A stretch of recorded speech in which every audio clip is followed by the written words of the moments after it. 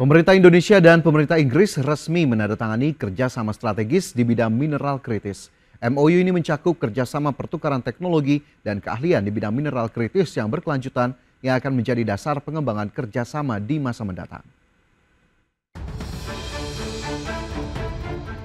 Pemerintah Indonesia dan Inggris sepakat menjalin kerjasama strategis di bidang sektor mineral kritis, di mana mineral kritis merupakan salah satu jenis mineral yang sangat dibutuhkan dalam penerapan teknologi ramah lingkungan. Mineral kritis di antaranya yaitu nikel, kobalt, litium, dan tembaga.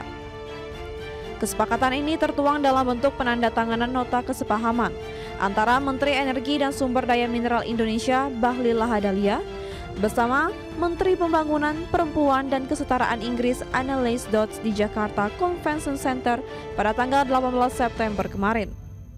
Perjanjian antara pemerintah Indonesia dan uh, Inggris yang substansinya adalah kita akan melakukan tukar teknologi kerjasama di bidang kritikal mineral dan juga energi baru terbarukan.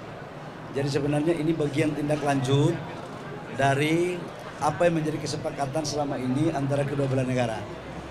So this agreement is very important for ensuring our countries can work together on realizing the potential for Indonesia from its critical minerals uh, reserves, realizing the jobs potential, but also ensuring that we have labour markets, environmental and community standards, so the environmental and social goals that both of our countries are committed to.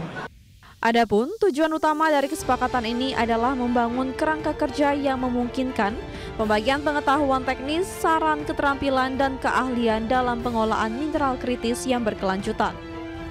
Area kerjasama yang diatur dalam MOU ini mencakup berbagai aspek, mulai dari sumber daya mineral, geologi, pertambangan, pengolahan, manufaktur, hingga daur ulang. Selain itu, kerjasama ini juga melibatkan teknologi pertambangan modern, kegiatan pasca tambang, serta rehabilitasi lingkungan. Dari Jakarta, Vina Munawar, Heru Triyuniarto, IDX Channel.